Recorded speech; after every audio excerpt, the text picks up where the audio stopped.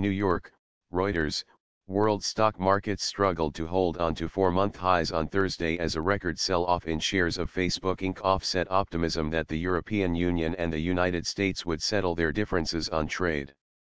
Facebook Inc., the fifth largest global stock by market capitalization, collapsed 18.89%, set for the biggest one-day wipeout in U.S. stock market history, after the social media company Eurotrademark's earnings report showed slowing usage in the biggest advertising markets. Executives warned profits would plummet as the company improves privacy safeguards. That countered optimism over news that U.S. President Donald Trump agreed to refrain from imposing car tariffs while Europe and the U.S. negotiated to cut other trade barriers.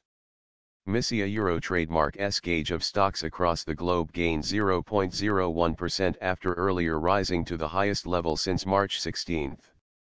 The Dow Jones Industrial Average rose 100.35 points, or 0.39%, to 25,514.45, the S&P 500 lost 8.65 points, or 0.30%, to 2,837.42 and the Nasdaq Composite dropped 83.64 points, or 1.05%, to 7,848.60.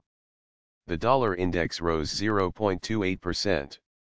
Liz Young, senior investment strategist at BNY Mellon Investment Management, said investor skepticism of the Marqeta Euro trademark S run is leading people to take a close look at corporate earnings and other fundamental factors a euro rather than jumping on the bandwagon and investing in tech stocks a euro. A euro e people need to be careful right now to be in those trendy trades a euro she said. The heat has eased somewhat over US and European trade issues, allowing markets to return their attention to central banks and their plans to withdraw stimulus. A euro or ETH lifting of the threat of tariffs on the auto sector in particular is a major development a euro said Royal Bank of Canada European economist Cathal Kennedy. The euro, which initially received the U.SEU trade news warmly, sharply lost ground after European Central Bank boss Mario Draghi reaffirmed a commitment to keep interest rates on hold a euro or ETH through a euro next summer, even though he saw inflation picking up by the end of the year the euro was last down 0.59% to $1.1659. Concerns about Facebook a euro trademark's major earnings miss in an otherwise largely positive U.S. corporate results season did little to support bonds, which lost value as yields resumed their climb higher. Benchmark 10-year notes last fell 830 seconds in price to yield 2.9653%, from 2.936% late on Wednesday. Progress on trade also helped demand for oil, which is sensitive to economic growth prospects.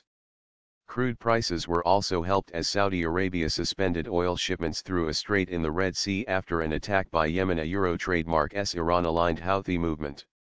U.S. crude rose 0.51% to $69.65 per barrel and Brent was last at $74.37, up 0.6% on the day.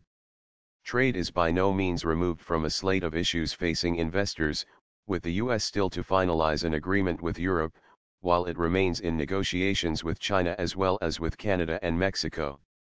China Euro trademark S blue chip shares lost 1.1%. Qualcomm Inc. dropped its $44 billion bid for NXP semiconductors after a deadline for securing Chinese regulatory approval passed. The breakdown of the deal leaves a Euro or investors fearing that the trade war has just turned even more so on China a Euro Citi analysts told clients. For a graphic on analysts downgrade auto sector earnings click r slash 2k1 ounce 2. For a graphic on European stocks surge on trade hopes click r slash 2 mjf8dj. For a graphic on world FX rates in 2018 click tmsnrt.r slash 2 egvh. For a graphic on emerging markets in 2018 click tmsnrt.r slash 2erugv. For a graphic on MSCI All Country World Index Market Cap click tmsnrt.r slash 2mtd6j.